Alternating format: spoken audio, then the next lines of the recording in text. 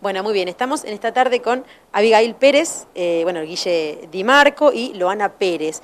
Eh, Guille, vos nos vas a contar eh, específicamente en este momento por qué es que estamos haciendo esta nota.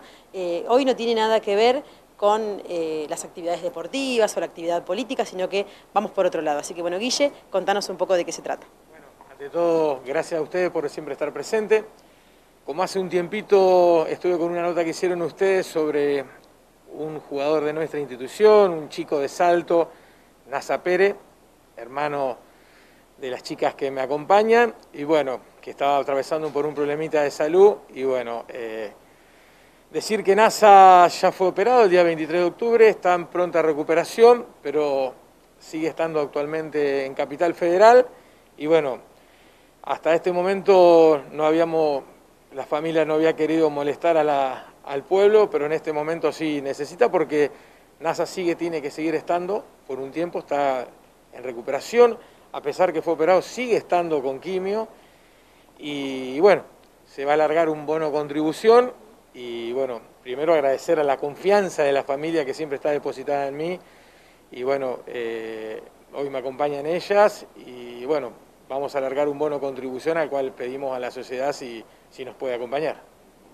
Exactamente, que seguramente va a ser así, porque sabemos que Salto siempre es muy solidario. Bueno, las chicas eh, tal vez eh, bueno, son más vergonzosas, pero quiero que por lo menos Abigail y, Loana eh, me digan un poco quién es Nazareno. Digo, es un nene, ya sabemos que juega al fútbol, que es de nuestra ciudad y que está pasando por una situación difícil. Ahora, ¿quién es él? Aparte de ser su, su hermano, seguramente ustedes tal vez tienen comunicación con él vía teléfono, vía Skype o por medios virtuales.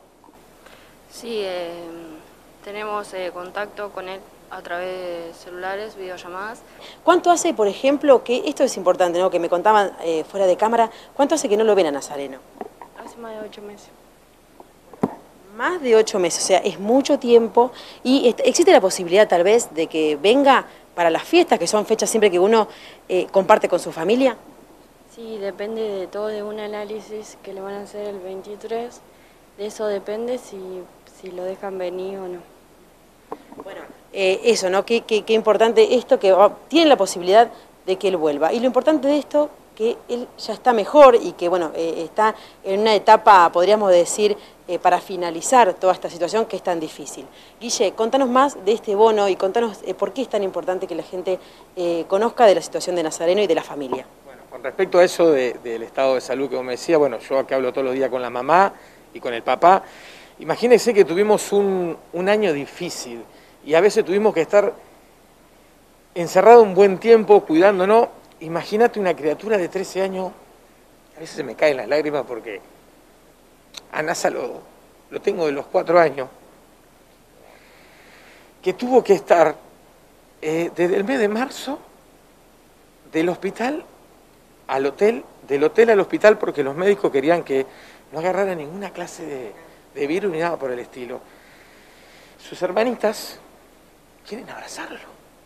Y el miedo que tienen los médicos, como dice que le van a hacer un estudio, es que en ese lapso que él venga acá, tratar de que no esté con la menor cantidad de gente posible para que no pueda agarrar nada porque él tiene que volver a estar allá.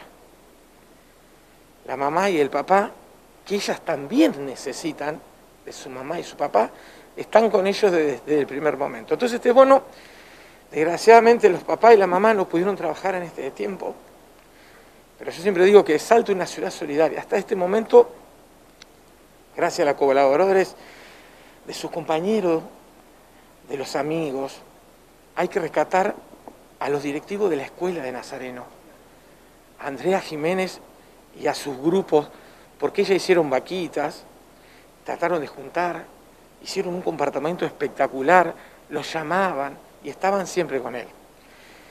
Este bono, que se va a sortear el día 26, son dos números por 100 pesos, hay un lechón de primer premio, eh, una cena para dos personas en la tranquerita del segundo y una cena de dos, para dos personas en la estación de servicio Shell que está en la ruta 31. Es muy importante porque él tiene que seguir, que es el después, es la rehabilitación, él tiene que seguir estando allá, los papás tienen gasto, él tiene gasto.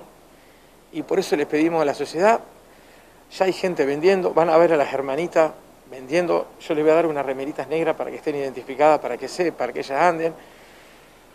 Eh, cuando le vayan a, decir que van a vender un bono para, para una criatura que tiene 13 años, realmente lo necesita. Por eso le pedimos a la sociedad que nos acompañe, que acompañe a la familia Pérez, una familia muy conocida del barrio Trocha, son criados ahí. Y, bueno, como siempre le digo, Salto es muy solidario. Muchísimas gracias a ustedes por brindarnos de la posibilidad. Y bueno, a todos que colaboren y en este año tan difícil que tuvimos, desearle unas felices fiestas y ojalá que el 24 Nazareno pueda abrazarla más que nada a sus hermanitas. A ustedes.